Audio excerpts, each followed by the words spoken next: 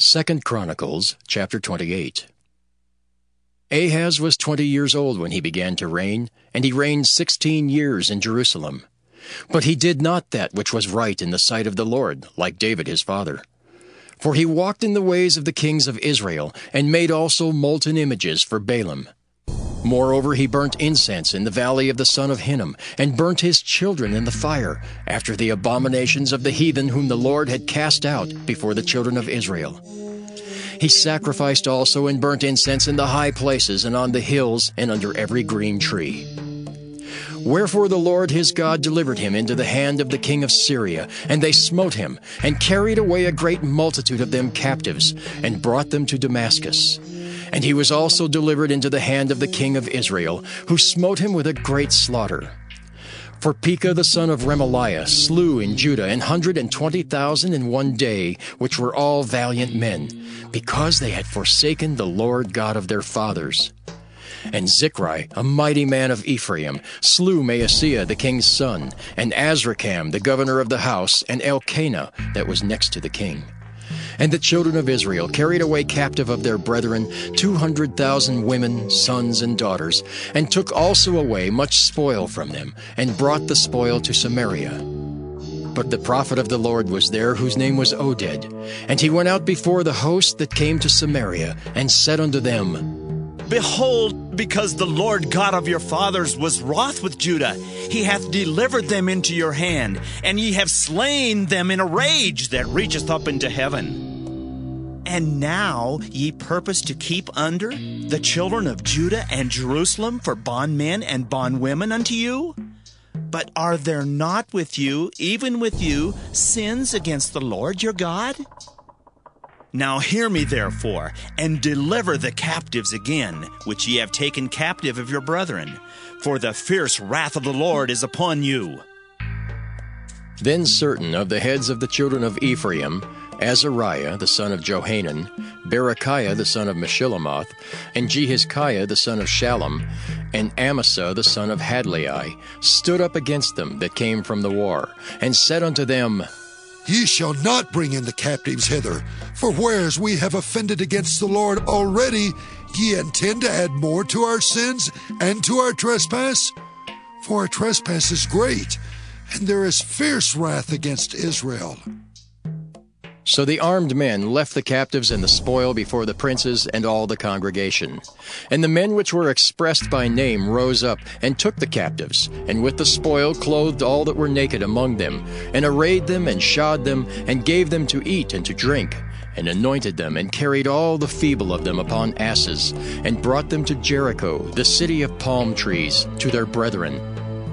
Then they returned to Samaria. At that time did King Ahaz send unto the kings of Assyria to help him. For again the Edomites had come and smitten Judah, and carried away captives. The Philistines also had invaded the cities of the low country, and of the south of Judah, and had taken Bethshemesh, and Ajalon, and Gederoth, and Shocho with the villages thereof, and Timnah with the villages thereof, Gimzo also, and the villages thereof. And they dwelt there. For the Lord brought Judah low because of Ahaz king of Israel.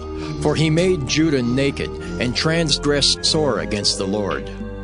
And Tilgath-Pilneser king of Assyria came unto him and distressed him, but strengthened him not. For Ahaz took away a portion out of the house of the Lord, and out of the house of the king and of the princes, and gave it unto the king of Assyria. But he helped him not.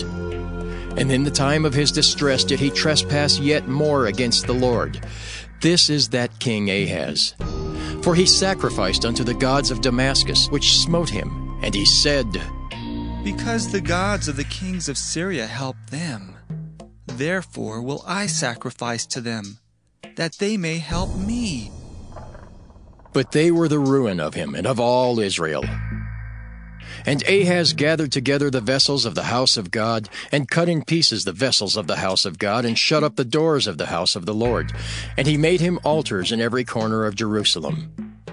And in every several city of Judah he made high places to burn incense unto other gods, and provoked to anger the Lord God of his fathers.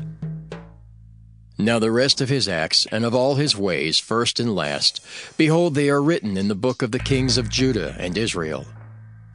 And Ahaz slept with his fathers, and they buried him in the city, even in Jerusalem.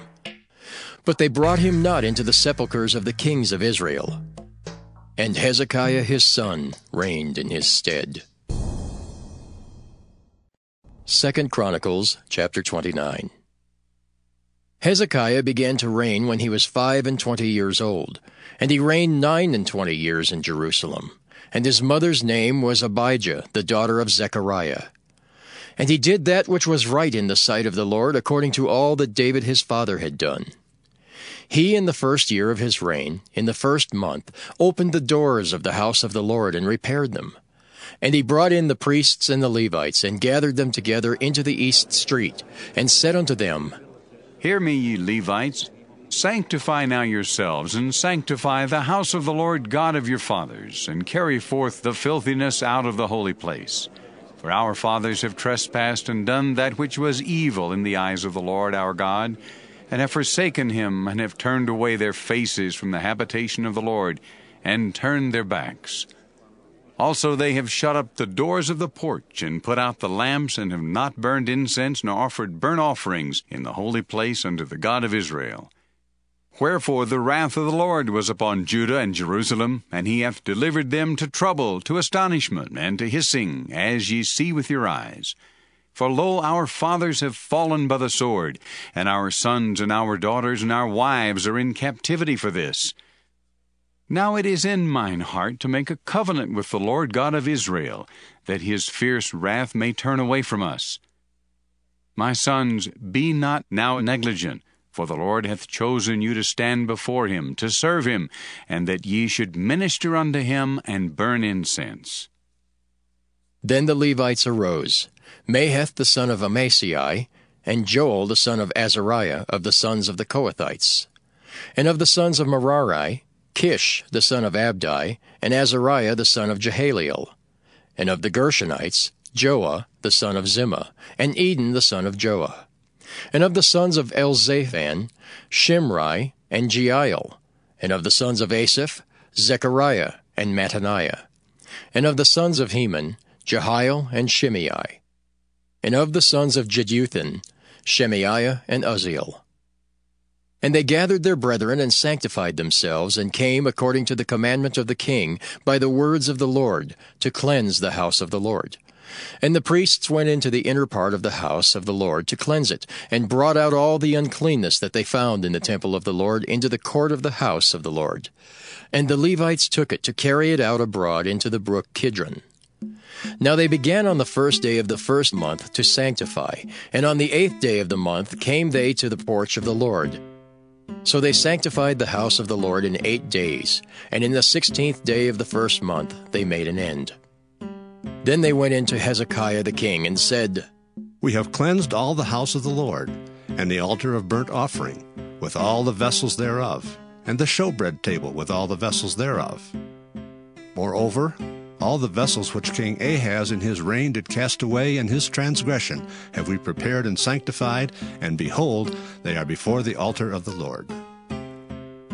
Then Hezekiah the king rose early, and gathered the rulers of the city, and went up to the house of the Lord. And they brought seven bullocks, and seven rams, and seven lambs, and seven he goats, for a sin offering for the kingdom, and for the sanctuary, and for Judah. And he commanded the priests, the sons of Aaron, to offer them on the altar of the Lord. So they killed the bullocks, and the priests received the blood, and sprinkled it on the altar. Likewise, when they had killed the rams, they sprinkled the blood upon the altar.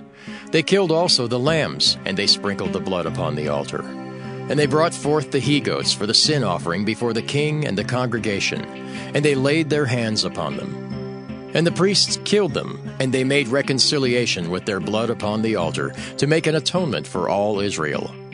For the king commanded that the burnt offering and the sin offering should be made for all Israel. And he set the Levites in the house of the Lord with cymbals, with psalteries, and with harps, according to the commandment of David, and of Gad the king's seer, and Nathan the prophet. For so was the commandment of the Lord by his prophets. And the Levites stood with the instruments of David, and the priests with the trumpets. And Hezekiah commanded to offer the burnt offering upon the altar. And when the burnt offering began, the song of the Lord began also with the trumpets, and with the instruments ordained by David, king of Israel. And all the congregation worshipped, and the singers sang, and the trumpeters sounded. And all this continued until the burnt offering was finished. And when they had made an end of the offering, the king and all that were present with him bowed themselves and worshipped. Moreover, Hezekiah the king and the princes commanded the Levites to sing praise unto the Lord with the words of David and of Asaph the seer. And they sang praises with gladness, and they bowed their heads and worshipped. Then Hezekiah answered and said, Now ye have consecrated yourselves unto the Lord. Come near and bring sacrifices and thank offerings into the house of the Lord.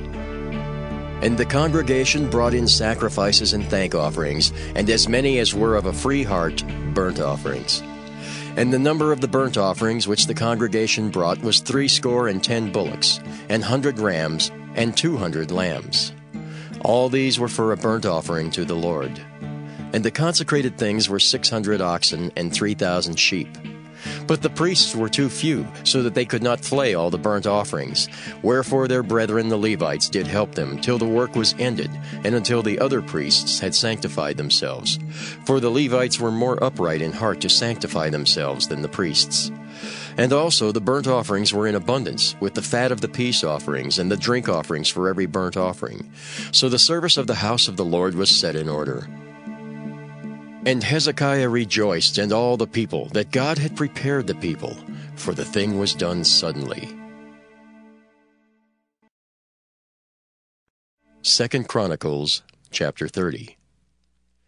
And Hezekiah sent to all Israel and Judah, and wrote letters also to Ephraim and Manasseh, that they should come to the house of the Lord at Jerusalem to keep the Passover unto the Lord God of Israel. For the king had taken counsel, and his princes and all the congregation in Jerusalem, to keep the Passover in the second month. For they could not keep it at that time, because the priests had not sanctified themselves sufficiently, neither had the people gathered themselves together to Jerusalem.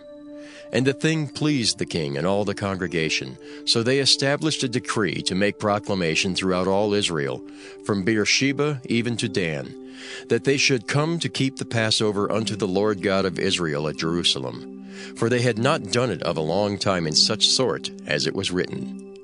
So the posts went with the letters from the king and his princes throughout all Israel and Judah, and according to the commandment of the king, saying, Ye children of Israel, turn again unto the Lord God of Abraham, Isaac, and Israel, and he will return to the remnant of you that are escaped out of the hand of the kings of Assyria. And be not ye like your fathers, and like your brethren, which trespassed against the Lord God of their fathers, who therefore gave them up to desolation, as ye see. Now be ye not stiff as your fathers were, but yield yourselves unto the Lord, and enter into his sanctuary, which he hath sanctified for ever. And serve the Lord your God, that the fierceness of his wrath may turn away from you.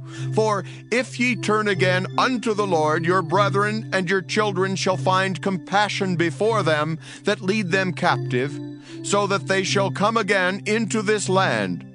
For the Lord your God is gracious and merciful, and will not turn away his face from you, if ye return unto him. So the posts passed from city to city through the country of Ephraim and Manasseh, even unto Zebulun. But they laughed them to scorn and mocked them. Nevertheless, divers of Asher and Manasseh and of Zebulun humbled themselves and came to Jerusalem. Also in Judah, the hand of God was to give them one heart, to do the commandment of the king and of the princes, by the word of the Lord. And there assembled at Jerusalem much people to keep the feast of unleavened bread in the second month, a very great congregation. And they arose and took away the altars that were in Jerusalem, and all the altars for incense took they away, and cast them into the brook Kidron. Then they killed the Passover on the fourteenth day of the second month, and the priests and the Levites were ashamed, and sanctified themselves, and brought in the burnt offerings into the house of the Lord. And they stood in their place after their manner, according to the law of Moses, the man of God. The priests sprinkled the blood which they received of the hand of the Levites, for there were many in the congregation that were not sanctified. Therefore the Levites had the charge of the killing of the Passovers for every one that was not clean, to sanctify them unto the Lord. For a multitude of the people, even many of Ephraim and Manasseh, Issachar and Zebulun, had not cleansed themselves, yet did they eat the Passover, otherwise than it was written. But Hezekiah prayed for them, saying, The good Lord pardon every one that prepareth his heart to seek God, the Lord God of his fathers, though he be not cleansed according to the purification of the sanctuary. And the Lord hearkened to Hezekiah and healed the people. And the children of Israel that were present at Jerusalem kept the feast of unleavened bread seven days with great gladness. And the Levites and the priests praised the Lord day by day, singing with loud instruments unto the Lord. And Hezekiah spake comfortably unto all the Levites that taught the good knowledge of the Lord. And they did eat throughout the feast seven days, offering peace offerings, and making confession to the Lord God of their fathers. And the whole assembly took counsel to keep other seven days, and they kept other seven days with gladness. For Hezekiah king of Judah did give to the congregation a thousand bullocks and seven thousand sheep. And the princes gave to the congregation a thousand bullocks and ten thousand sheep, and a great number of priests sanctified themselves. And all the congregation of Judah, with the priests and the Levites, and all the congregation that came out of Israel, and the strangers that came out of the land of Israel, and that dwelt in Judah, rejoiced. So there was great joy in Jerusalem, for since the time of Solomon the son of David, king of Israel, there was not the like in Jerusalem. Then the priests, the Levites, arose and blessed the people, and their voice was heard, and their prayer came up to his holy dwelling place, even unto heaven.